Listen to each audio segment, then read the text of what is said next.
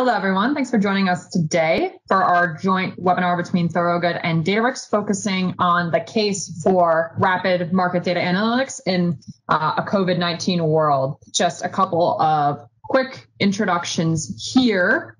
We're going to be joined by Rob from Databricks. So, Rob Saker, he is a global industry lead focused on specifically on retail manufacturing. I'm not going to steal his thunder. I'll let him introduce himself a bit more when he gets going. Uh, my name is Deb Lee. I'm joined by my colleague Ben Dunmeyer. Um, we uh, work for Thorogood. We are BI and data analytics consultants. So we really specialize in sort of end-to-end delivery of this type of work. And recently, um, sort of throughout the pandemic. More specifically, we've both been working um, uh, with large CPG customers on sort of delivering uh, sort of rapid experimentation and productionized results uh, for senior leadership to make actions that are data driven. So I'm going to hand it over to Rob now. Let's take you guys through.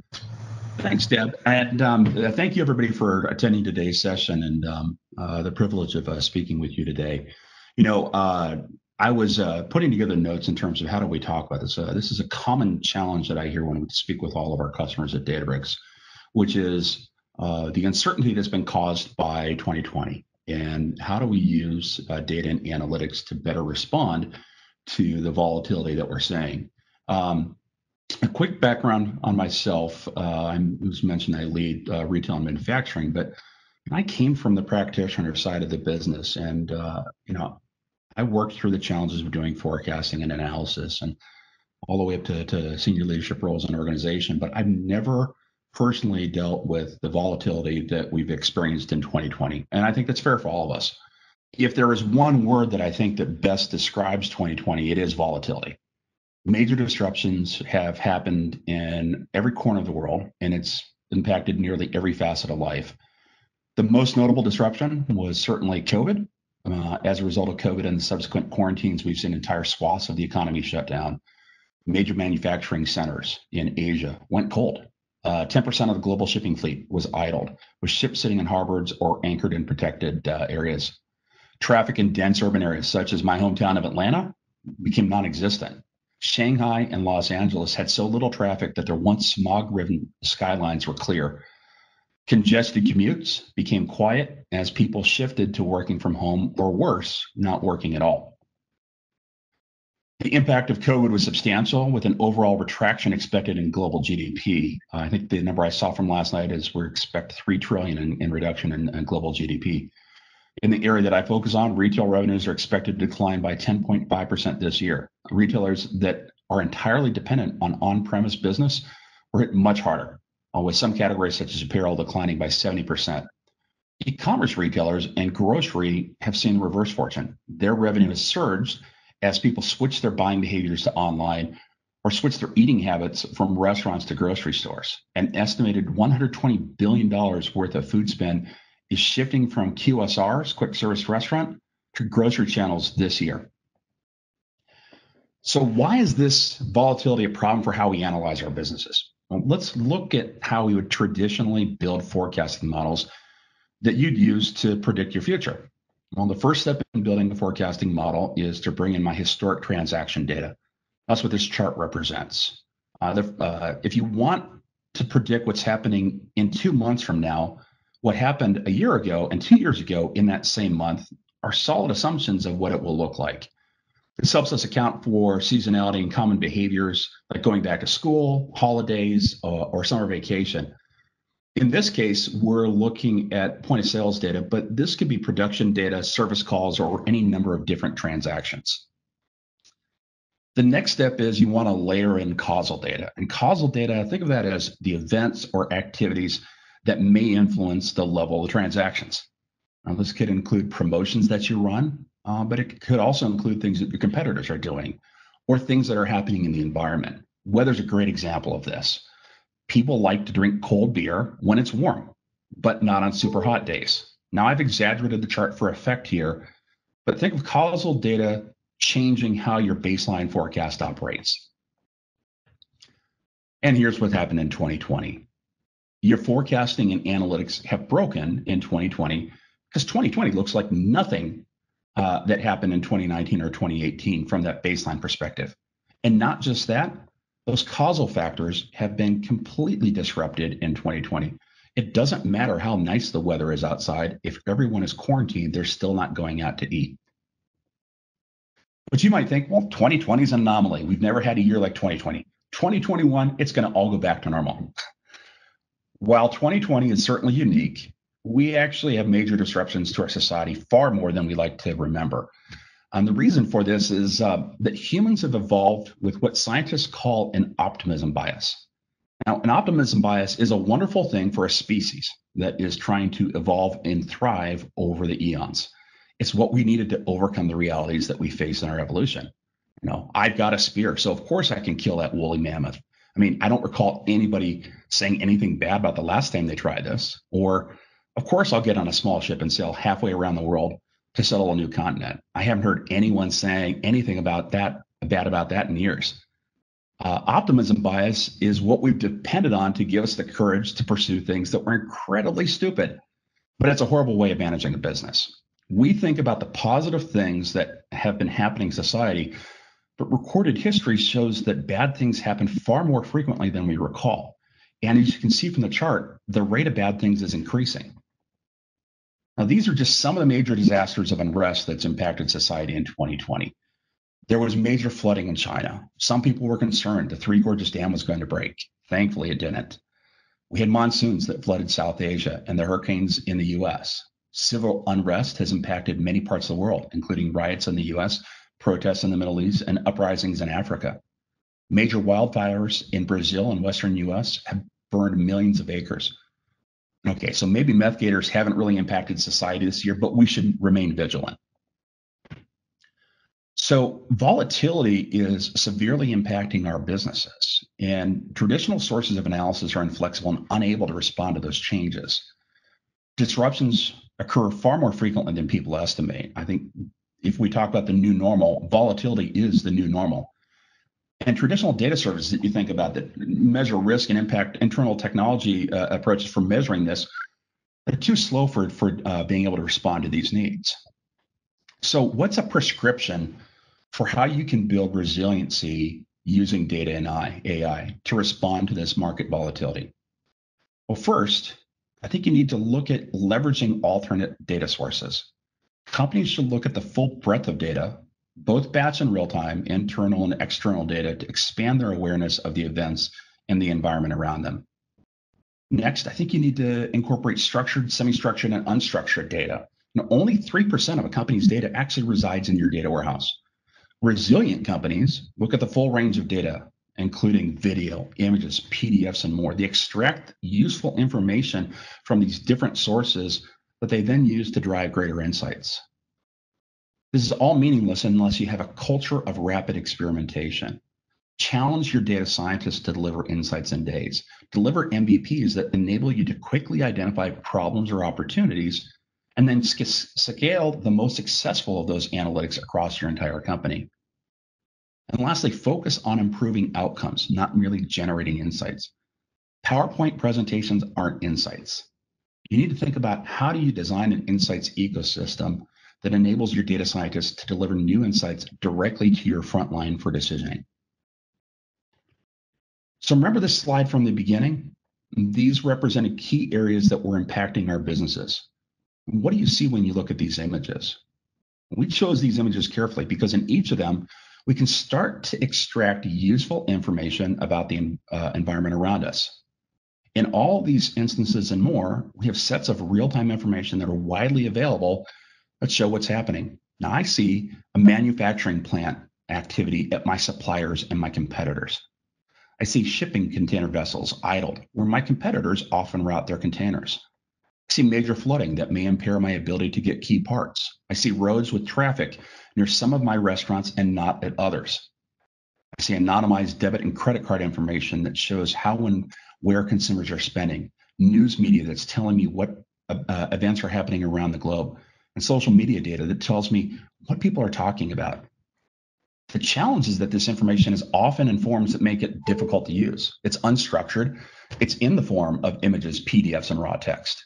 Traditional data systems like data warehouses only use structured data and sales data. And it's difficult to test to see if it's useful.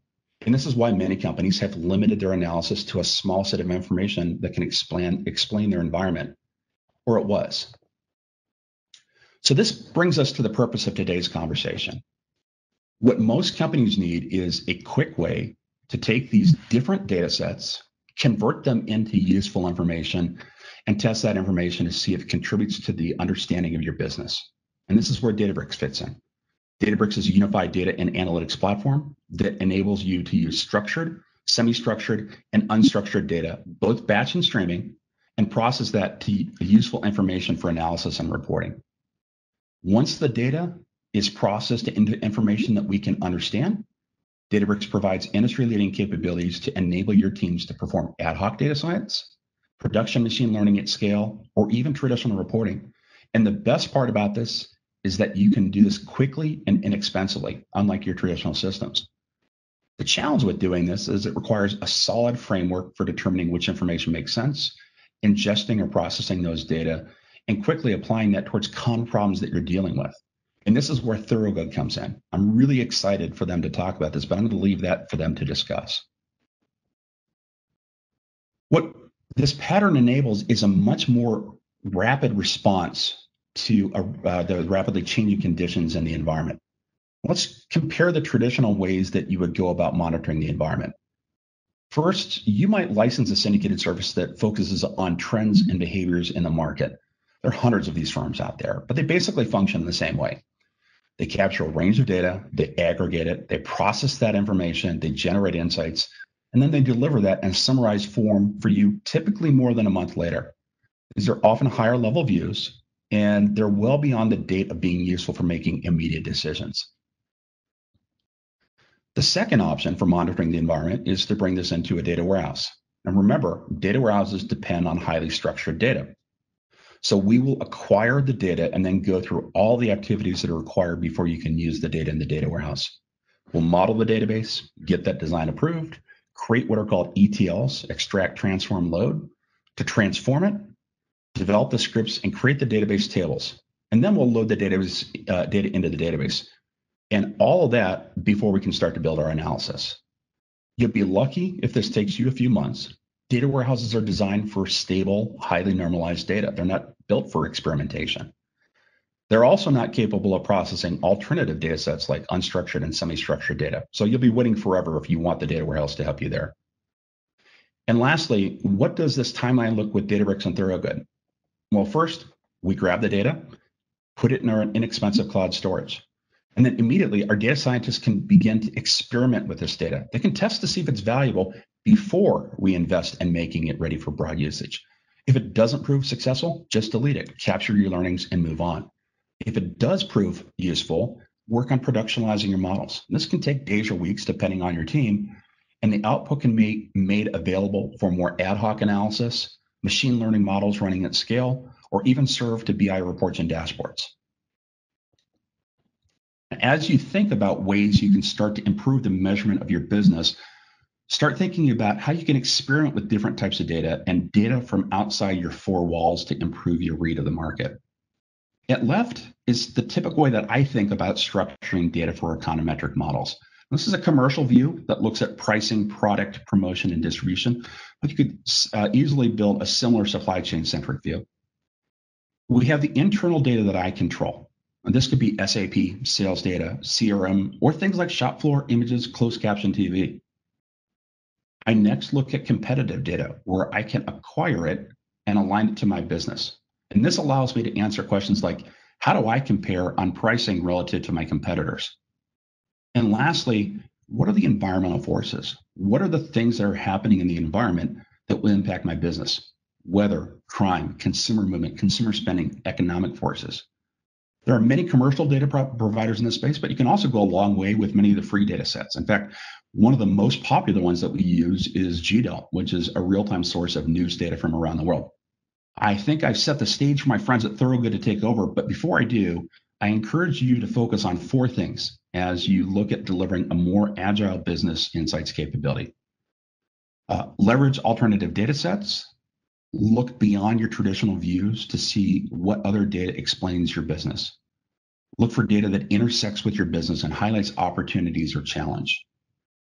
Consider real-time data to accelerate your decision t- uh, timelines. In the time of volatility, long-term forecasts are less important than the cumulative effect of many smaller short-term decisions. Incorporate structured, semi-structured, and unstructured data. Use the power of Spark and Databricks to transform this raw information into useful analysis. Build that culture of rapid experimentation. Challenge your data science teams uh, with Thorogood to deliver results in days and weeks. And lastly, focus on improving outcomes, not merely generating insights. Focus on how you can take these capabilities and put them in the hands of people that are making the decision on the front line. With that, I'm going to hand it over to Deb to uh, walk through her section of the presentation. I am going to sort of just giving you a view of what we're going to talk about next. So I'm going to set the stage a bit more in terms of like what we've actually been seeing from like a real experience. I think so. Really, the case for change in terms of building in um, a culture that has speed and resiliency from an uh, experimentation perspective. I'm going to then take you through an actual use case because I think it's like we can talk about uh, experimentation and sort of socializing outcomes to um, the people who are making decisions, but I want to really give you a view of what that actually looks like in terms of like what we've actually been doing. Um, and then I'm going to pass it over to Ben, and he's going to take you through another use case, and then he'll take us home with a bit around how do we actually get started here and some of the offerings that Thorogood and Databricks uh, have.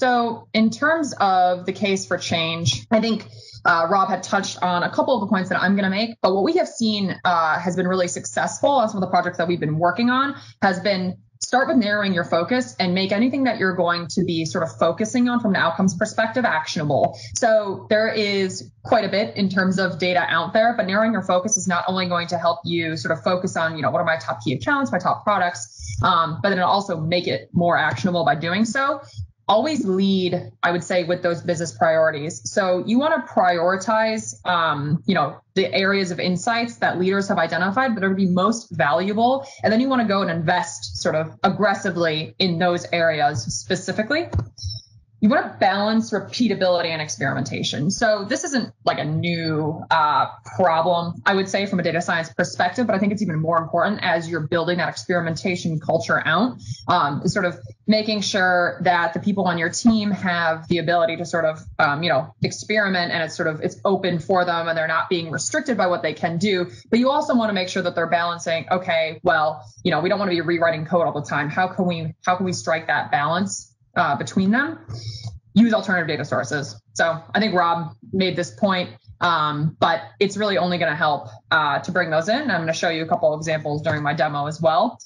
Make sure that you can actually productionize whatever you're building. So when you're sort of enabling those teams uh, to move from experimentation to production, your your value uh, from what you're generating. So how are you going to actually improve those outcomes is really only going to be realized when people can actually start um, consuming them and using that information to make better decisions.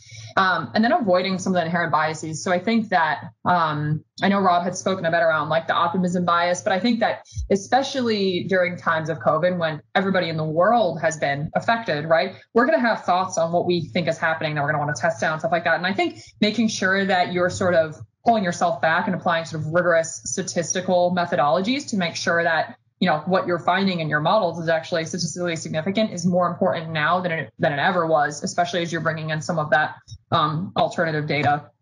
So in ter- I want to talk a bit around sort of why Databricks is like the tool uh, to do this. Um, it has sort of that unified platform for both the data engineering and data science offerings, giving you sort of a cloud space for collaboration. So multiple people can work in the same notebook at once, flexibility in languages and performance. Um, that massive flexible scaling. So really, uh, whether you're experimenting or you're doing production work or some huge data sets, very flexible in terms of being able to scale up. Um, you can perform, I would say, either ad hoc analyses or make them repeatable depending on how you build your code out, um, which will also then save you time and give you back more time to actually analyze those insights. And then integration with multiple cloud platforms is going to give you sort of the best of both worlds in terms of uh, sort of flexibility there. So you're not pigeonholed by one technology or one data visualization technology to actually, you know, uh, get your insights out. Uh, a couple of points here. Use the data lake um, with Delta Lake.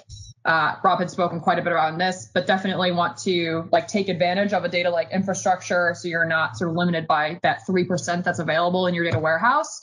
Um, use sort of those enterprise data sources as needed. So if you don't want to repeat necessarily like the cleansing steps or anything like that, use the APIs you know, maybe sort of the open data source sets like the weather data, for example, use an API to bring that in. Um, it'll also integrate quite nicely. It'll play nicely with the orchestration component. So this is especially important for productionization, right? Because I don't want to have to just go in and manually run my notebook every time the data gets refreshed. I want it to be automated. I want it to be orchestrated. Data visualization. So how do you show people some of those insights uh, once you've gotten to them? And how I'm going to talk about about this more in my demo, but um, you know, the so what behind it, right? How do people actually see what you're working on, understand it, and use it? Finally, the machine learning product. So once you like once you've created the model and you want to move to production, that model may need to change, obviously, in the future. Like we're talking about massive disruption here. So having it write onto a tool like MLflow, for example, model registry, being able to track and model log the changes and stuff like that, having um, Databricks write out to one of those tools like that is going to give you uh, sort of the most flexibility in terms of managing your machine learning models. So moving on to my use case. Uh, my intent in terms of this demo is I don't I don't want you to be focusing necessarily on like all the numbers I'm going to be showing like uh, you know for the purposes of the demo. I think the like to take if you're going to take something away from this, it should be to understand and get a view of how does this experimentation sort of uh, life cycle and getting some of those insights out to the users how does that actually happen and how does that how does that work? So i'm going to give you a bit of context on like the type of model wherein i'm forecasting sales volume. Um, but really here uh, what i want you to walk away with is a sense of okay how could i actually do this? How could i do this type of experimentation and how can i socialize and help them improve their outcomes uh, using sort of the insights in a bi format as well? So just to give a bit of background on the type of model and something that we've seen has been very useful from a COVID-19 perspective in terms of modeling are uh, dynamic linear models with uh, with Bayesian multi-state applied to them. So these are going to be a type of linear regression model. The parameters are treated as time varying, so they're not going to be static. Um, and then applying that sort of multi-state on top of them means that they can be configured to automatically cope with periods where your time series is disrupted. And we know just looking at the world today that we are expecting the parameters to change. It's a very good use case for this type of modeling. Um, and especially thinking about uh, some of the stuff that we've been doing in the context of COVID-19, you know, throughout some of those uh, the crazy periods that we've all been living through, like in the past eight months. Um, what's pretty what's pretty useful with these models is that they can be used to step through you know that pre-lockdown history. So wherever you are in the world that might have been like november through the spring for example. But throughout um, that volatility of the lockdown so when everybody was rushing to the grocery store and stocking up on toilet paper and sort of that reemergence into a post-lockdown period where we are now seeing is somewhat resembling a new normal right?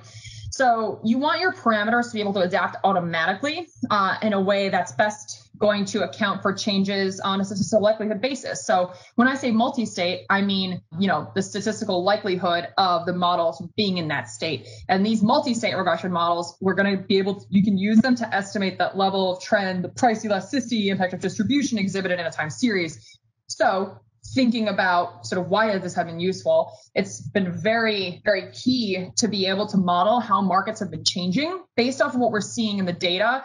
But then, so give us that past explainability, but then really what's going to happen in the future in the face of more uncertainty because there's not going to be some sort of magic bullet in 2021 where everything just reverses, right? Some of the things that Rob was talking about earlier we're trying to answer questions like, am I recession ready? Like, how am I doing in the recession? Have there been any significant price promotion distribution trends that have changed due to COVID 19? What factors are contributing most to my performance, my competitors' performance? Just to give you a view of so i am going to be showing a bit of code and i don't want it to be overwhelming sort of the sort of overall flow of the model. Um, we have mapping of the data sets happening first so this cannot be understated just in terms of needing to think about how you map especially some of those alternative data sets to your own sort of internal external point of sale um, you know internal sap crm systems data sets.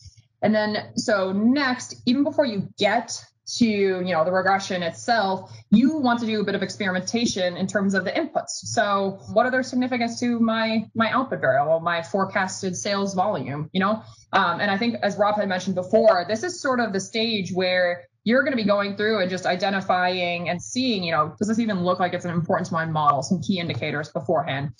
Take the model, train it and test it. So I think the, one of the more interesting points around training these types of models is, and what's been different from what we've seen in the past is you kind of have to throw a lot of your historical data out the window because if you remember that graph that Rob was showing, our baseline forecast is not accounting for any type of disruption. But now we're at a point where we do have a bit of data from a disruption standpoint. So, you know, you might want to train this model on that period uh, you know, of lockdown and when people were panic buying, quarter buying as a model that sort of, you know, might prepare you better for the next lockdown, right? If there's a second outbreak.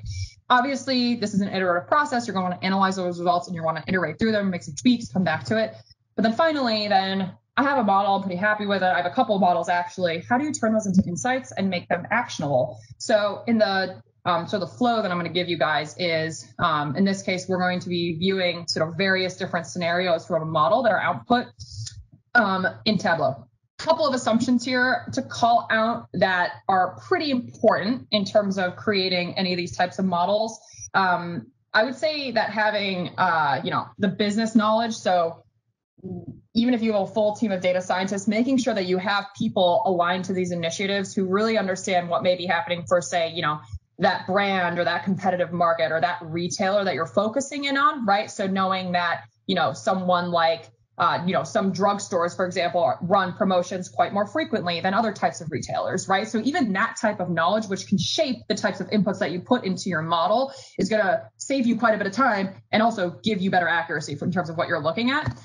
The other thing that I will call out is what we've seen is you kind of need a bit of shift in a mindset, and we've um, especially from like a data engineering perspective in terms of mapping some of those data sets you may need to be a bit more creative in how you sort of group them and then map them into some of your other external and internal data sets because it's not necessarily always going to be one to one right but you need to basically build in some assumptions and the better those assumptions are right uh, the more sort of the better the results will be from the model. So ultimately, we're looking to sort of rapidly experiment to create models that are going to help us better explain the past and the future with not just sort of my own data and sort of my classic, uh, you know, my Nielsen or my IRI data set, but how do I bring in other things to help me better explain the past? I'm gonna hop over now into um, Tableau. So from story perspective, and what I want to get across here is what we've seen in a lot of our customers is that um, they already have, uh, you know, views and snapshots of like what's happening with my brands. So in this example here, um, you know, my fruit snack brand here, Lee Fruit Snacks, this is my executive snapshot dashboard. I come in here, um, you know, the data gets refreshed every couple of weeks. But what I've noticed um, more recently is that, you know, coming out of the pandemic, or I would say, I should say pre-pandemic, my um, you know my brand was a lot more competitive with my biggest competitor dunmeyer chip ben's chip brand um, sort of coming into the lockdown period. But what i've noticed now is you know every time i go to this dashboard that my share in the market is just trailing and trailing and trailing. I don't really know why. We haven't we haven't changed much from what we were doing you know last summer but we we have a pretty, you know, we're a bit worried because something may have changed in the market. We're not, our models aren't picking up for it. We're consistently underperforming relative to where we think we should be, and our share is suffering as a result. So you can see here, I have a number of metrics that I'm looking at, but this doesn't really give me that much explainability. And this isn't, this isn't enough right? You, we need to do like a bit more. We need to go digging. We need to see if there's a better way that we can explain things. So I'm going to hop over now to uh, Databricks. So what we've seen is a lot of our customers already have like this. They're seeing this happen right now, but they're not necessarily um, doing enough from an experimentation standpoint to try to really dig in and see is there more happening that our current data sets are not picking up on. If you uh, sort of head into Databricks. I'm signed in already. I'm logged in. I just have all this pulled up and run already from a demo perspective. What we've seen has been really effective from a ways of working perspective is that uh, we sort of have these shared collaborative experimentation workspaces. And within a workspace, um, there could be sort of a number of different notebooks here that, you know, I haven't necessarily built all these. But what's really powerful about it is that, um, you know, some other team members that I'm working with, they've developed, you know, the code to bring in and process like some of this um, sentiment data. For example, um, they have some unstructured coupons data. We're also bringing in um, unemployment uh, claims, uh, insurance claims, and then COVID uh, as well. So COVID data sets, so like the confirmed number of cases, the day on day change rate, things like that. So you can see I'm, I'm starting to bring in a number of different types of open source data sets. And you can imagine that as you bring in more and more, you can scale out this list. Once they're once I have those notebooks built, that processing, and I have the code built to map them to what I want, I can just grab somebody else's notebook, run it, and reference it. I don't even need to write the code to remap it in for myself. So for the purposes of this demo, a lot of this code has already been um, already been mapped and brought in. Um, but that's sort of the first step that you would do. Uh, so looking at my notebook now, this is a notebook that has been optimized for analysis um, and experimentation.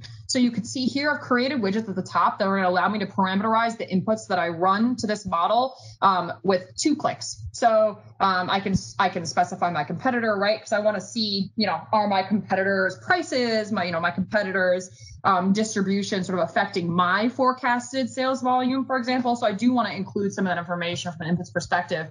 Um, so I can go in couple of clicks, select what I want to look at, right? Because I don't necessarily know what my results are going to be when I'm first starting off. I can also go in, um, select a number of different input features. So you could see here if I wanted to test it with those initial unemployment claims that were filed um, on a, like a state-by-state basis for every week. Those are released by the Department of Labor. I can include those. I can look at the continued claims. I can look at the insured unemployment rate. I can also look at COVID cases and deaths as well. So these are all things that I can quickly bring into my notebook and um, start experimenting with with a few clicks. Uh, obviously, want to specify, you know, the output variable that you're trying to explain for this type of modeling, and then typically you're going to sort of start small and then maybe scale up, right? So from a uh, like a retailer perspective, maybe just selecting one or a few, maybe within the same channel.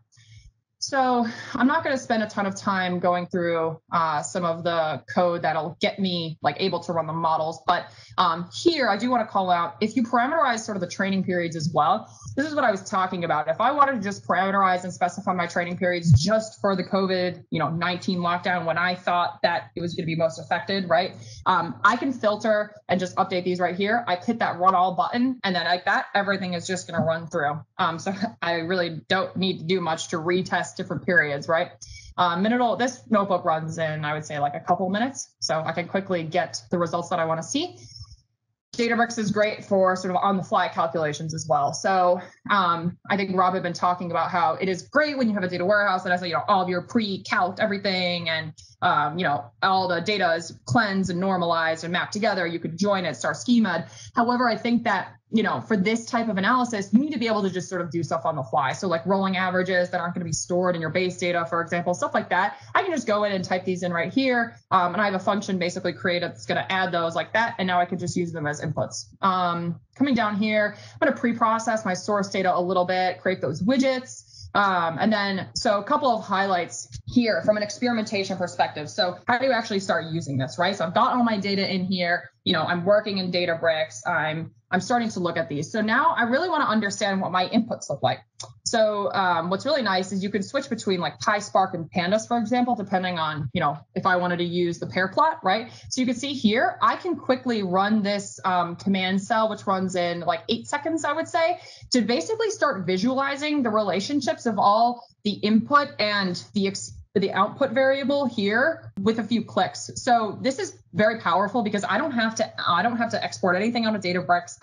I don't have to dump it into Power BI or Tableau or Excel for that matter, just to be able to analyze it. Um, and if I want to change the different variables that I'm looking at at any point in time, all I have to do is really just go up here, add a few more, um, and then run the notebook as well. So you can start to get a sense of how Databricks has shifted from a data science perspective and exploratory data analysis how you're shifting from, you know, spending your time just writing the code and then going back, rewriting it, rerunning it right on your local machine or something in R to, um, you know, a few clicks here and there. And I spend all my time now actually analyzing my data and understanding what it means for the model. Um, that's huge. So similar with, you know, using heat maps or correlations, all I need to do is just add a few more things. I can see things like my price discount, my promotion frequencies, you know, my items on the shelf, my distribution, all correlating to that, you know, that volume sales that I'm trying to forecast. So once I've done a bit of experimentation and analysis in terms of my uh, inputs. I'm going to, you know, split. I'm going to run some summary statistics on the data, train the model. I'm going to fit the model.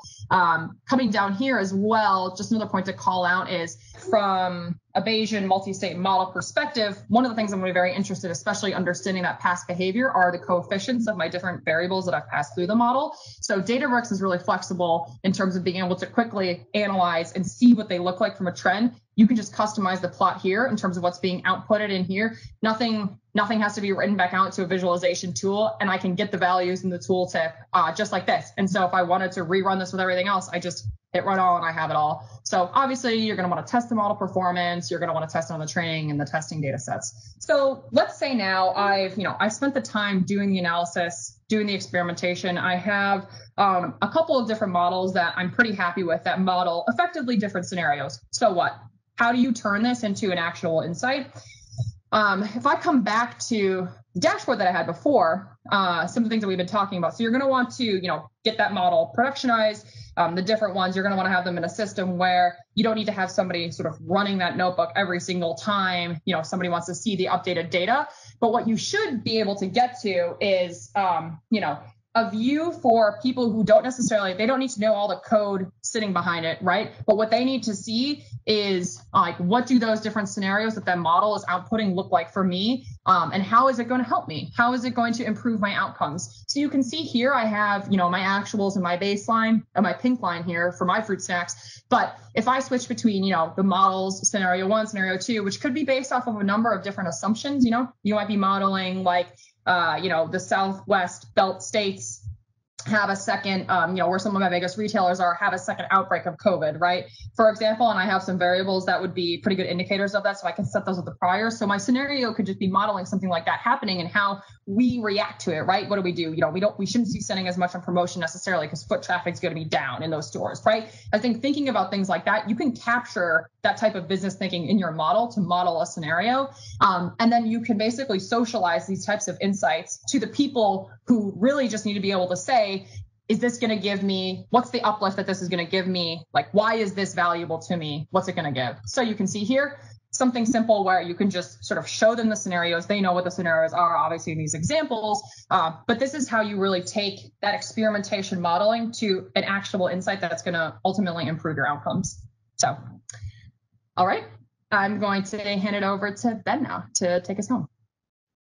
So I think it was a really interesting demo and, and to hear about how we're you know, switching you know the way in which we're forecasting, which is done for years into kind of a, a different methodology and, and, seeing how the disruption in the whole world is playing into it. I'll uh, I'll build off that with an, another use case and, and, pull on a number of the threads um, that both Rob and Deb had touched on. So thinking about the use of alternative data sets, uh, the use of technology to quickly narrow down what we need to look at and what we need to do about it. So I'll introduce it here briefly, um, what the point of it is, what the value we're trying to get out of this. Um, this analytical approach.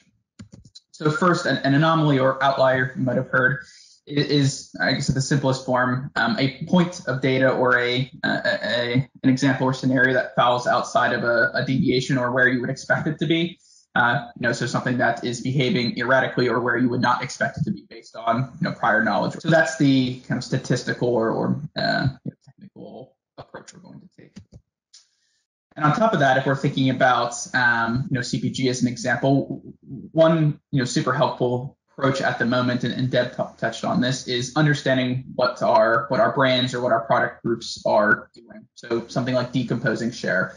So I want to understand really who's winning, who's losing, who's staying the same, because that can you know help me capitalize on where I'm winning, um, address some of my weaknesses where I'm losing, um, and, and, and other, other strings.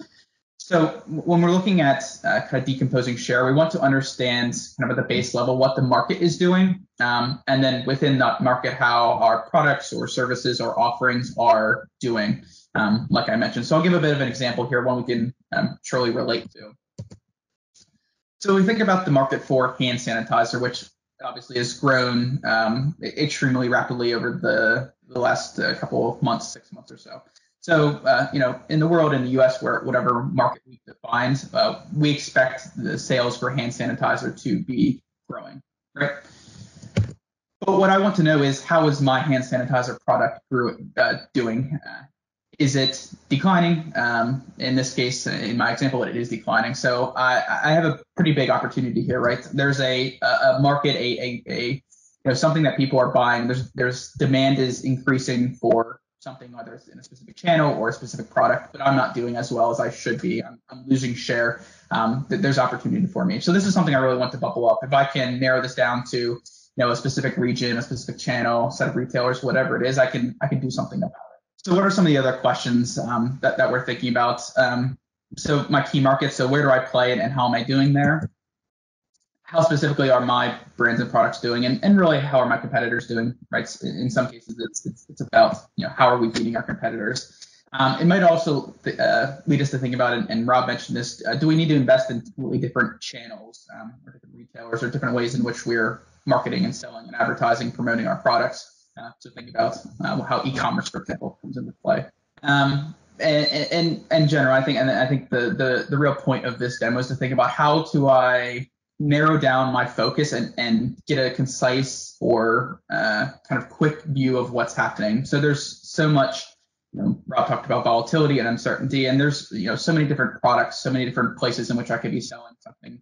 How do I, how do I figure out where to look? How do I identify the problems? How do I identify the opportunities? uh, and really how are how are consumer buying habits evolving and how do I evolve with them. So to give a bit of a, a brief on um, the approach that I'll talk through in Databricks uh, pretty briefly. First, like Deb, we'll do some data preparation. So identify data sources, um, do some calculations. I want to calculate share. I'll do different cuts of the data. Um, and then and kind of prepare the data to be uh, easier to analyze, easier to report on.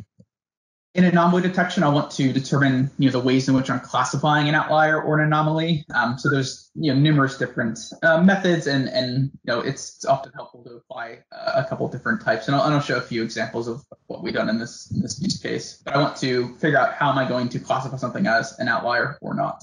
We'll want to actually do that calculation. So we've defined our, our methodology. We'll have to actually do it. Um, and then it's it's also helpful to um, do some sort of prioritization or summarization. So I've, I've a lot of data points. My outliers and anomalies are telling me some information, but how do I figure out which ones to look at? How can I see, you know, who, uh, you know, where outliers are occurring most frequently, where they're, you know, largest uh, deviating, um, you know, the, the most amount or things like that. So, you know, putting a bit of a bit of logic on top of that identification of outliers to, to you know, rank them to an extent.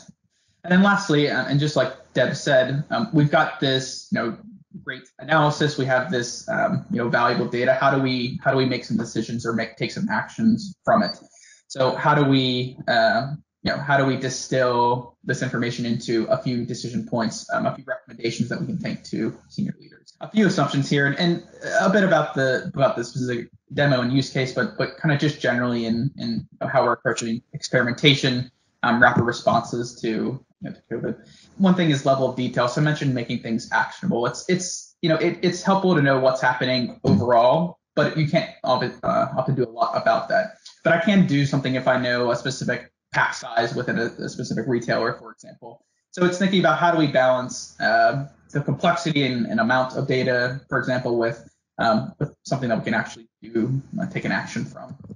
Um, and a point Deb made, but uh, coupling the statistical analysis um, and understanding of technology and data with business knowledge is, is of paramount importance. We have to understand why we're doing something um, and how to do it um, to, to really get any benefit and value from it. And thinking about the different ways in which we're defining markets. So is it an area? Is it a group of products? All kinds of different cuts. We need to narrow it down. Though we need to we need to have some focus. And ultimately, we're thinking about kind of rapid generation of information and insights that we can uh, use to focus ourselves on, on on the important parts of our business or important areas we need to we need to identify and, and fix. Or I'm going to jump over and uh, show a few examples here pretty quickly. Uh, so uh, I just have my Databricks window open here, and I'll, I'll pretty briefly go through this. But um, at, at, the start, and, you can see above um, the top of my screen. Uh, like Deb, I have a number of widgets, and I've kind of used these just to help me more elegantly and quickly transition through um, different cuts of my data. So, you know, I have different categories I might want to look at. Um, I want might want to include or exclude, you know, some um, alternative data sources. I might even want to tinker with my sensitivity of my outlier. So, uh, depending how I'm looking, I might want to, uh, you know, effectively broaden that uh, that distribution of, of the standard the standard distribution of, of what I classify as an outlier or not. So kind of some interesting stuff. We can add in a bit of a bit of uh, elegance to um, to our experimentation. I'll do some data preparation. So like Deb, I've also used that same unemployment and COVID uh, data. I've also pulled on um, some macroeconomic features. So um, S&P as an example. So things like price index for this case, I was really interested in. So able to pipe that into Databricks. And, you know, if I don't, if it's not useful or I want to try something else, pretty quick to do so. And then I have my point of sale data and I'll do a, a bit of data prep and, um, you know, organize it and, and, and calculate my, sh- my shares and you know Databricks is great. I can get a bit of do a bit of guess and check. Um, I can also yeah, validation, but also uh, initial analysis. So get a sense of, of what's happening, um, which is always helpful. And, and, and like Deb said, it some quick insights and some, some quick assurances of, of what you're seeing and why why you're seeing it. So we see some other some other charts here. Um, and then what I really want to do is bring together all this data and calculate some of my kind of outlier um, features, so to speak. So, um, you know, I want to calculate a, a, number of different things. So I want to look at um, the market overall. So is the market um, growing or winning air market specific brands um, growing or declining? Um, and then trying to understand, is it a factor of the market getting bigger? So is are more hand sanitizer products being sold? Is it a factor of my brand doing better in that market? And so on and so forth. So you can get those different factors as you decompose share. And there's lots of different ways to go about decomposing decomposing share. So again, some visuals, we can get a sense of those those outlier definitions, make sure they're sensible, start getting a, a view and, and forming our hypotheses from our experimentation. And then we'll actually want to do that calculation of outliers. So I've, I've included two methods here, um, interquartile range, which effectively um, you know, uh, lists out all our points of data from um, bottom to top, and, and, then defines four quadrants, right? Um, lower, two middle, and then an upper quadrant. And the inter interquartile range is that uh, place from the end of quartile one to the end of quartile three. So that's our, you know, our you know, standard deviation if you think about it that way. And then I might define, and, and I will define an outlier, something that's falling somewhere beyond this upper quartile half. Um, so, uh, for example, multiplying this upper quartile by 1.5 or, or 2 in this case to you know, define somewhere up in this area where you know, these are my outliers. So just a way of, of kind of, uh, I think pretty, pretty simple mathematically.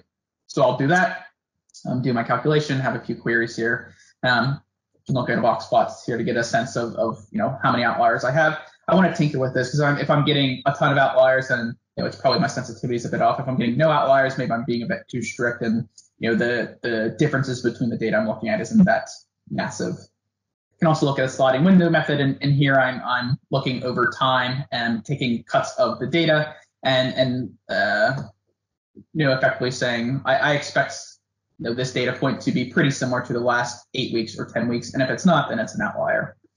So we'll do that as well. Um, and then, you know, like I said, different outlier methods. We'll do some, um, you know, finish some data prep and and get into an output format. So now this is great. We've we've identified outliers, but uh, I don't know what those outliers are. I don't know which products, which retailers. I don't know much more than I, I think. You know, I think my calculation. I think my math's pretty good. So how do we how do we actually figure something out from this?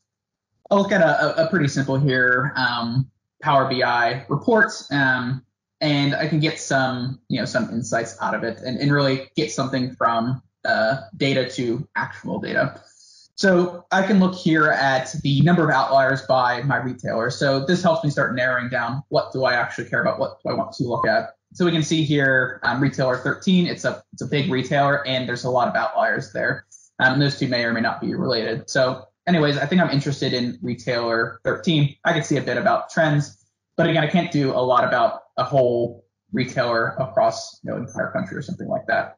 But I, what I can do is start understanding how are my brands playing into that retailer. So um, I could just use my filter here to select this retailer. Um, and I can see how I'm doing. So I'm losing at this retailer, which isn't good. It's a big retailer, um, and there's a lot of outliers. So I want to understand, you know, how are my products doing. So if I click on my bar here, I can see, you know, some of my brands in the highlight. It might not be might not be too visible, But I can see this brand here is, is one of my brands, and it's red, meaning I, I'm drastically losing share, and it's a big brand. So one of my biggest players, uh, if not my biggest player at this retailer, uh, isn't doing well. It's losing, and, and I need to understand why.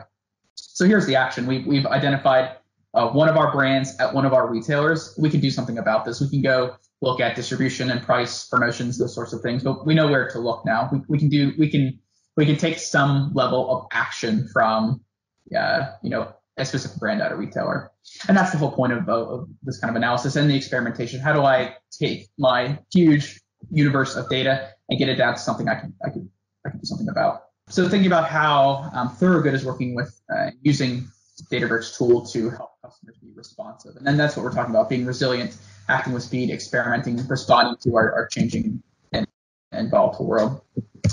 Looking into the, what's urgent. So key business questions, um, new data sets that are available, um, those are the interesting things. And you saw how easily we could bring in alternative data.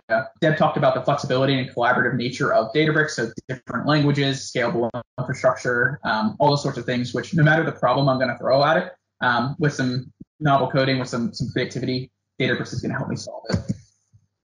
Scalability. So we mentioned this, this is dealing with bigger data, um, maybe dealing with a lot of different data sources that are different forms.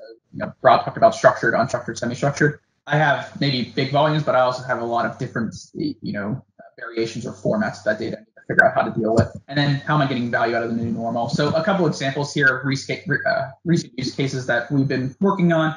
Um, you know, some of these are, are maybe traditional in the sense of but um, are particularly you know, urgent and important now. So you can see down the list a you know, a number of familiar things relating to the you know, retail, CPG, manufacturing space, and you know, certainly lots more that are happening. So a couple of parting thoughts here and, and a few next steps of, of kind of how Thorogood how, how Databricks can, can help and, and you know, things that we've seen be particularly valuable. So what do we see? What do we see organizations doing? And, and, and Rob mentioned a couple things. You know, he's seeing as well. Um, acceleration in cloud uh, investment, analytics investment, DevOps investment. So investing in those technology, software um, capabilities that allow us to respond quickly, to work with flexibility, um, and to experiment. Kind of hitting that right on the head, but experimentation. Uh, so we, this has been kind of the theme of today. How do we how do we do things quickly? How do we you know throw some stuff at the wall and see what sticks to an extent. Um, something Rob talked about uh, quite a bit was how are what are we doing about our existing you know forecast models or, or, existing demand planning models? Um, they're, they're, probably not right um, or, or they're hard to trust. So what do we need to do to refresh them? What what's uh, you know, new features? Um, you know what uh, causations are we now adding to those models to uh, to make them useful to, to be able to uh, use technology to help us respond? And, and, th- and think about kind of the, the big picture. Um, what data do we have available to us? So, you know, data lakes and modern data platforms are, you know, really, um, I mean, coming into fruition and they're, they're uh, kind of productionized and, and, key assets for organizations. How do we get value out of them? How do we get value out of other data sets, the alternative data sets we've been talking about?